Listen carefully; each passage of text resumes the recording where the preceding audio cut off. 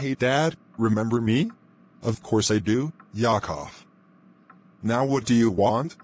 Dad, please listen to me. I am so sorry for bullying a 16-year-old girl and making her commit suicide. I realize that's not who I am, and I can't just behave like that because Magic Tools 3 Champ 209 hates me.